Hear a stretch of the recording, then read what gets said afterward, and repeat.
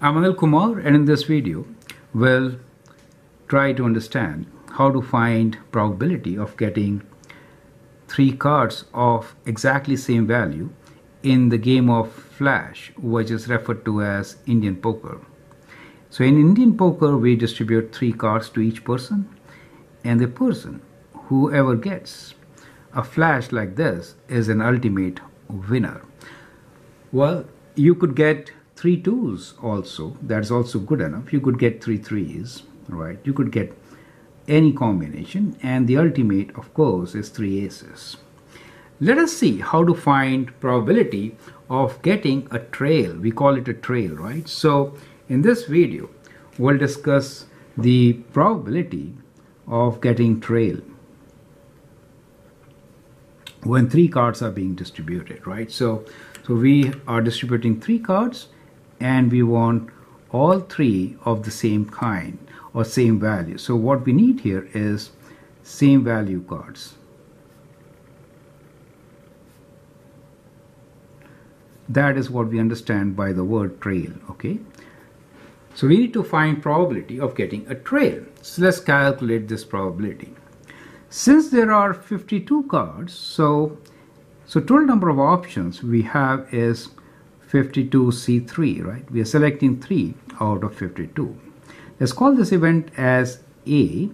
Probability of getting trail, the event A will be what? Well, first let us consider what value of card. So we have, uh, first we'll consider the value of card. Now how many options are there? We have 13, right? From 2, 3, 4, 5, 6, 7, 8, 9, 10, Jack, King, Queen and A's. So 13 of them. So we have 13 options. So that becomes 13 options. Once we decide which one, let's say A's, then we are choosing 3 out of 4 because there are 4 suits. So you are selecting out of 4 only 3 cards. So that becomes the favorable number of chances to get a trail, right? So probability in this case for the event A of getting trail in the game of Flash, where three cards are being distributed, is the ratio of these two, right? So 13 for C3 divided by 52 C3, correct? So that's what it is. Let's calculate this using calculator, right? Okay, 4 C3.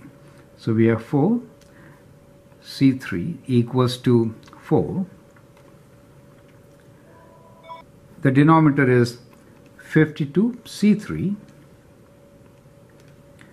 that is 22 100 let's calculate the value now so it is 13 times 4 equals to divide by 22 100 so that gives you a number which is 1 over 425 and that is in decimals 0 0.00235 right? So that is a very remote chance of getting a trail right? That is why this is such a valued combination.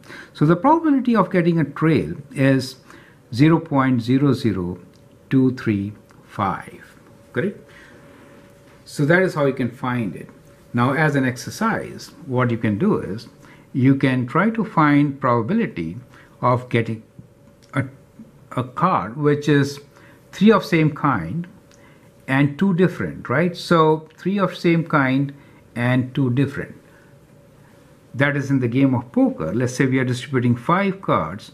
So we have three of same value and two different.